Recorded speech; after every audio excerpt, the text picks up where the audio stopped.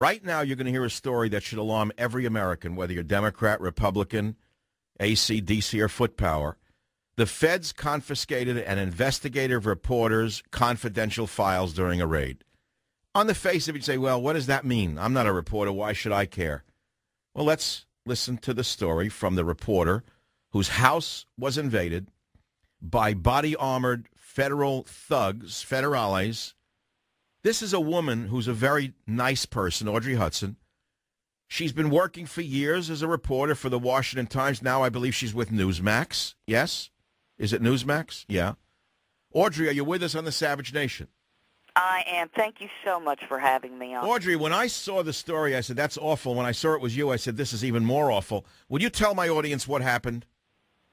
Yeah, in early August at about 4.30 in the morning, my sweet little schnauzer just started barking like crazy. I got out of bed, looked out the window, and our house was literally surrounded. And there were uh, officers wearing complete body armor approaching the house. And my my husband gets up early in the morning to go to work. He leaves about 4:15. So they had actually caught him down the road and brought him back. The phone rings. It's my husband. He said, the police are here. Open the door. Now, what was the crime? They they came in with a search warrant for a potato launcher. What is a potato launcher? A potato launcher. My husband purchased it five years ago online. It's it's a gimmick. It's just a fun little thing. You kind of you um, it's just like a, a a big barrel, if you will, that you would attach to your gun, and you you kind of jam it onto a potato. It takes a slice of the potato you you you punch it out with the you know with the blank, and it's it's fun. We also have a golf ball launcher. What is it? Does it fire the potato? It fires potatoes. So in other words, they're trying to now seize all assault potato launchers. They alleged in the uh, Obama now wants all assault potato launchers seized in America. Yes. No, Audrey, this is not a laughing matter. Is that why they came? It's not, the, the search warrant said they came because they believed that he had purchased this potato launcher from some Swedish arms smuggler or something. Oh, wait a minute. Where do you buy a potato launcher? He bought it online. Okay, but let's say I wanted a potato launcher. Where would I buy a potato launcher? A potato launcher, I don't recommend it. But all you do is put in Google, and you'll see it'll pop up. But are they illegal? Is it illegal to buy a potato launcher? They are not illegal. So they... why is the government afraid of assault potato launchers? Uh, I don't think they were. I think that was just the excuse to get into my house. Ah, okay. So now what were they really after?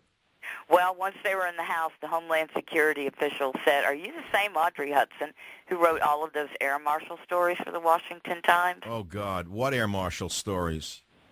Uh, you know, I, I talked about them on your show, but it's been years ago, um, about the um, Homeland Security officials lying to Congress about how many air marshals were actually protecting flights from another terrorist attack.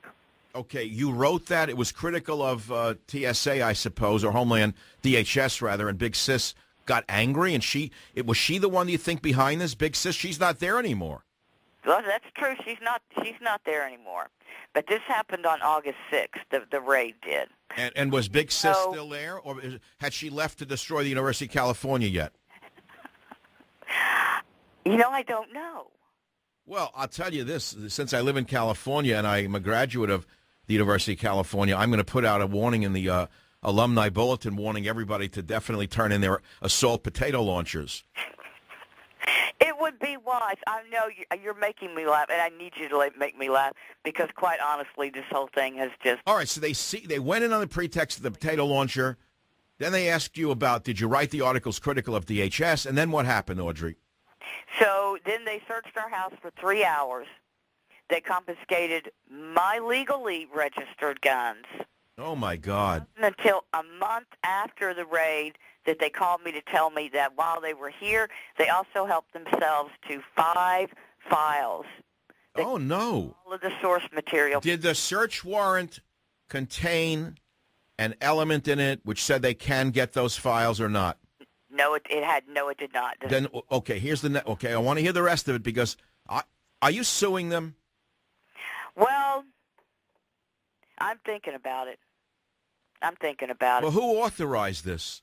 Who was it who who, would, who who violated your privacy? Who violated your civil rights? Who violated your American rights? Who did this?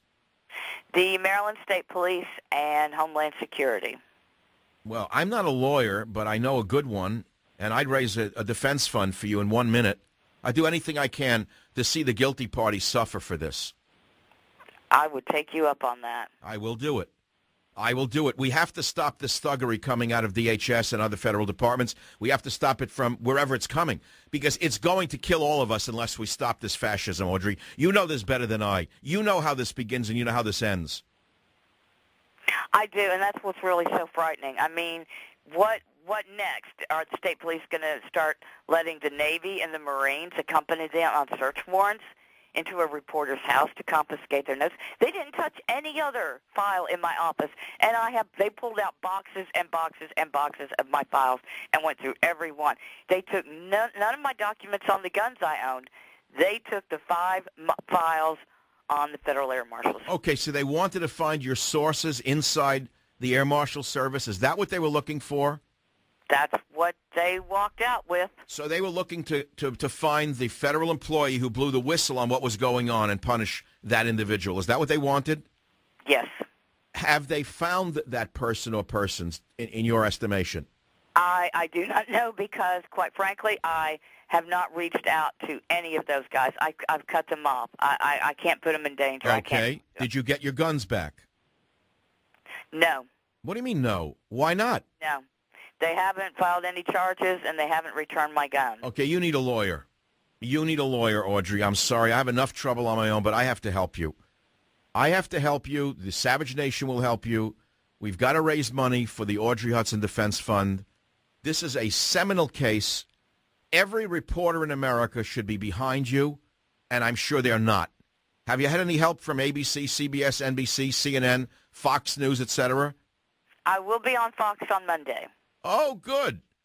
Uh, on Wallbanger's show or on on uh, Ma- Megyn's show? I'm doing actually. I'm doing Gretchen's new show. Good. Good for her. Good for her. At least she has the, the, the, the integrity to do a story that, that is not self-serving. How much can we watch Wallbanger with the phone operator? How many more days of that? But Audrey, this is a big story, and and Gretchen. Yes, it- I, no, I admire Gretchen for doing that. I really do. At least she's going to back you. That's fantastic. Now, first of all, they entered with a search warrant on the pretext of the potato launcher. Number one. Is a potato launcher illegal? No, it is not. So why would they? How would they get a search warrant for potato launcher? They actually didn't even get it in my county. They had to go judge shopping to get the warrant signed. But on what basis? If the potato thing is not illegal, Because they claimed in the search warrant that a potato launcher can be converted into a silencer, which, by the way, is also not illegal. But if we had a silencer, we would have owed taxes on it. a silencer of that size would have to fit on the end of a what kind of gun? It would be a huge barrel, that, a monster bore, right? It could have fit on. Yeah, yeah. You'd have to put that on the end of a bazooka. Well, no, they're not. They're not that big. It's Oh, big. so it's small potatoes we're talking about. yeah, yeah. You don't. It doesn't launch the. All right, so they're only seizing small potato assault launchers. Yes. Okay. I, I feel better because I thought that the government was going after large potato launchers. Well, at least we see that Obama's minions are, are consistent. They're uh, concentrating on small potatoes. You know, that's a great way of putting it because that's exactly what they did. Look, Audrey, I, I, I can turn anything into a joke because I have a gallows sense of humor, but this is not a laughing matter. Anyone listening to the show should understand the seriousness of this subject. It's a Friday night. They don't want to hear any more. They sent in the Coast Guard Investigative Service. What in the hell is that? That well, exactly. My husband works for uh, the Coast Guard Yard in Baltimore, but this has nothing to do with his job. He's a civilian. They claim they're now claiming in um, in the uh, story, the Daily Caller broke the story this morning, and the Washington Times also has a story up now that they they claim that they they were brought along because my husband worked there. This was not work related. A Coast Guard Investigative Service breaking into a reporter's house? Yes. And the Coast Guard's not concerned about the illegal aliens here, not concerned about the uh, visitors from Iran, the visitors from Saudi Arabia who might be plotting something against us. You're their problem? Yes, I am their problem. Inland. Oh, Audrey, Audrey, Audrey. Just want to make that clear. What what'd you say, Audrey? I didn't catch that. I said I don't live on a houseboat. I want to make that clear. Okay, well that's interesting because if you did, of course, you'd be, you'd be under their jurisdiction. I, I hope they didn't hurt your schnauzer at the same time they broke in. Normally they kill dogs now. Don't you know that's? I know you mean that seriously. Oh, I do. How many how many dogs have we seen killed by these psychotic, drug addicted cops that break into people's houses and are afraid of a schnauzer? To be honest, that was the first concern that We- absolutely was, and I, I put the dog in the bedroom. I didn't even go to the front. Well, because after all, a guy with a 40 caliber gun and body armor might be hurt by a schnauzer. Miniature schnauzer. Well, that's right. After if they're after small potato launchers, they can be after small dogs. they put, and then they moved her out of the bedroom and they put her in the bathroom. Did they bring her in for questioning and put her under a lamp and give her a beating?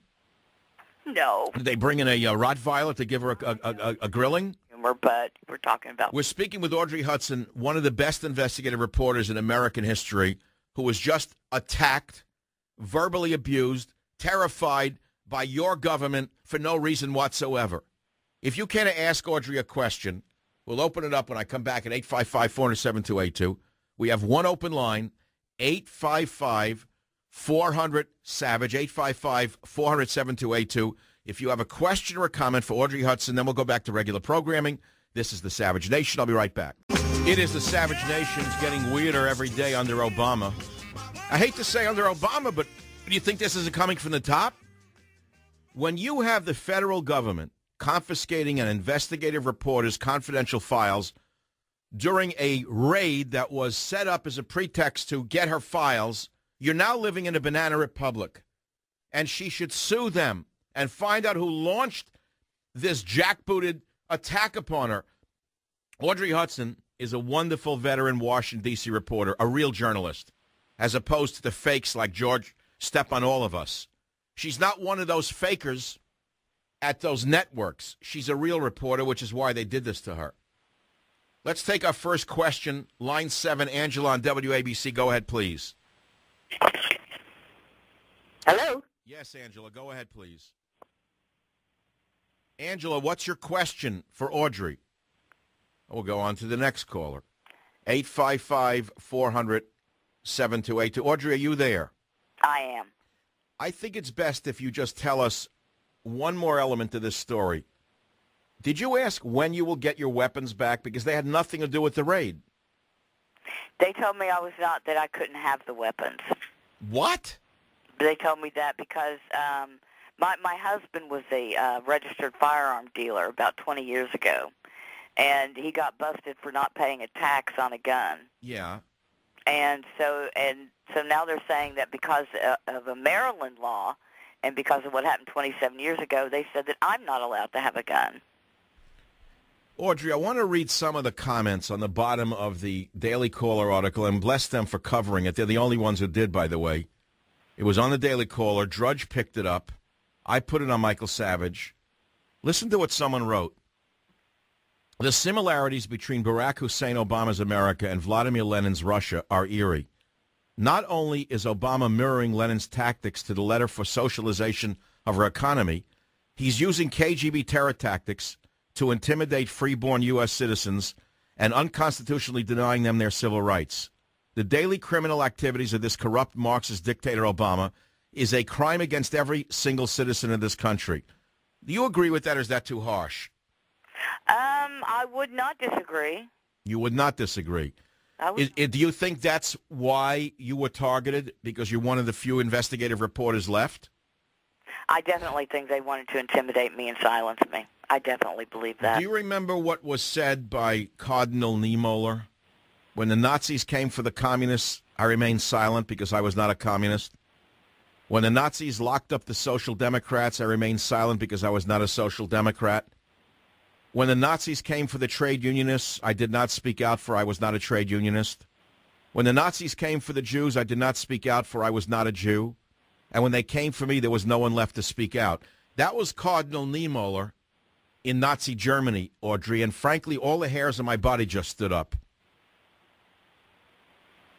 I think everyone listening to this show should tell all of their friends about what happened to Audrey Hudson because something has got to change in this country rapidly for us to survive, even as a rudimentary constitutional republic. If you follow the arc of this uh, scenario that Obama is inflicting upon reporters and everyone else, there will be no free speech, there will be no free reportage, there'll be no free anything left in the country except food stamps. Audrey, do you have any last words for the audience tonight? Ironically, this is Free Speech Week. It's Free Speech Week. It's National Free Speech Week. Audrey, are any other major mainstream media folks? Do you have any friends? Are they are they concerned that they could be next? Uh, you know, actually, I heard today from a lot uh, of my colleagues um, uh, that I, that I've worked with over the years in Washington. But are they going to help you? It's okay for them to say, Audrey, we sympathize, but they don't have the guts to help you. Well, there there's some more articles that are going to come out. I'm I'm confident. Well, I'm frightened for you, Audrey. And I know you, you told my producers that you haven't laughed since this happened. When did this happen to you? This happened on August 6th. And you've been you've been basically living in a, in a, in a bubble of fear since. That's exactly right. I didn't they I didn't know that they took my files until September. Well, this is very serious business. You're listening to the Savage Nation. If you don't know what the story is about, because you haven't heard it before in the other shows, go to a Daily Caller or michaelsavage.com. And Audrey Hudson will do everything we can to keep the story alive. We will be in, t- in touch. Give your husband a hug. Give your dog a kiss. Well, or shall I say give your dog a hug and give your husband a kiss? I don't know what is better. But the thing is this.